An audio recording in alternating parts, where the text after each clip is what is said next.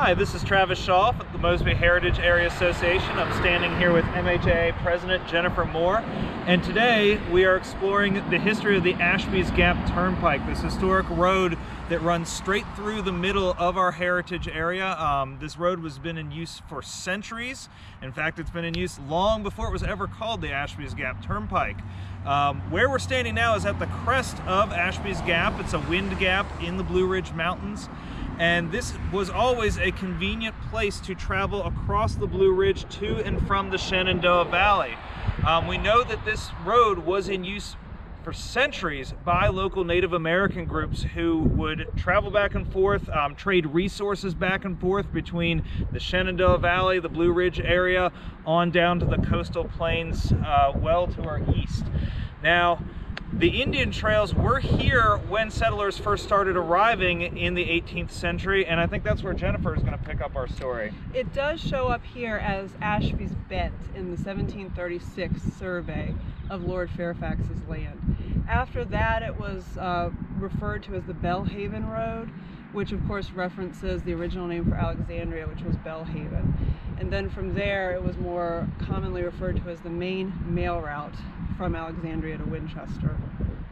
Yeah, so the area gets the name Ashby's Gap, um, or the Ashby's Gap Turnpike, from one of the first land grants that was given here in this area, and that was a grant uh, from part of that Fairfax grant to Thomas Ashby. And Ashby established a tavern um, just down the way a little bit in what is now the village of Paris.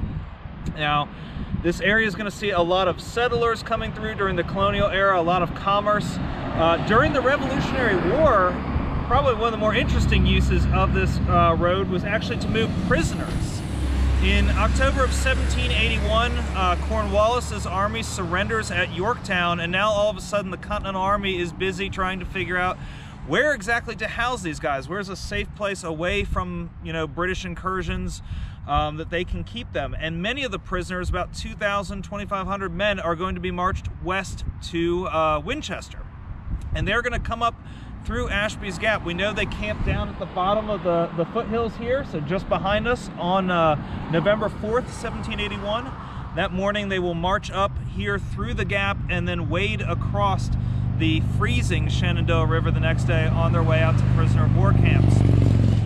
One of the more interesting stories that comes out of this march happens right here at Ashby's Tavern. Uh, one of the officers who's with the British forces, a Scotsman uh, named Samuel Graham, he and several other British officers stop at the Ashby's Tavern. And when they enter, Mrs. Ashby cannot recognize what army they're with. She at first thinks they might be militiamen. They say, no, no, no. Then maybe, are you with the Continental Army? No, we're not. And then she pieces it together. She says, you must be those serpents who came here with Cornwallis. I have a son who beat you at Saratoga and another son who was at Yorktown. Then she calms her fears by saying, sorry, truck going by. She calms her fears by saying, you know, my mother was from the old country, so I will treat you with kindness. So they sit down and have a nice meal there at the Ashby's uh, Tavern.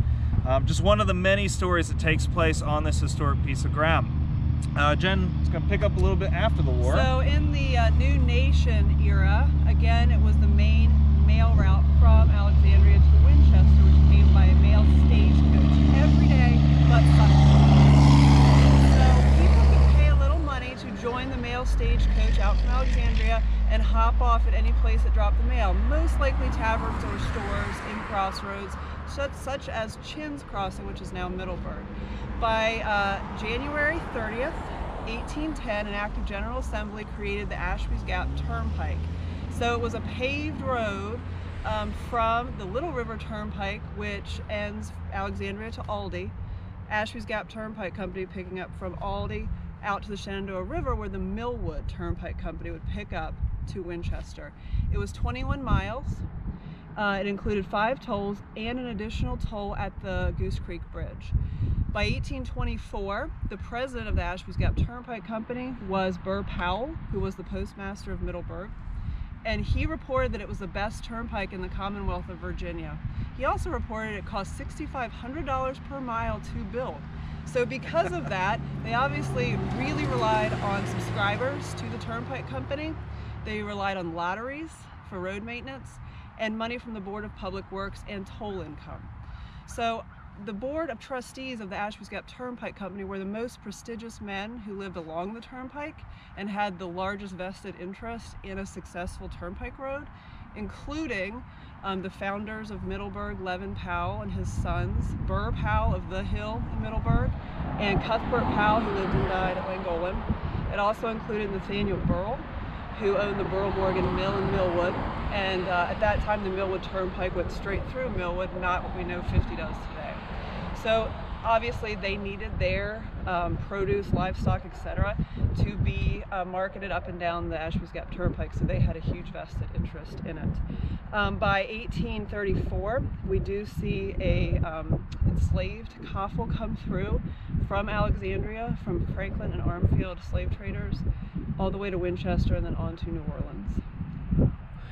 Thank you so much. We are going to end this little video here, but I want you guys to uh, stay tuned and join us a little bit later on as we explore more of the 19th and 20th century history of the Turnpike. Thank you for joining us.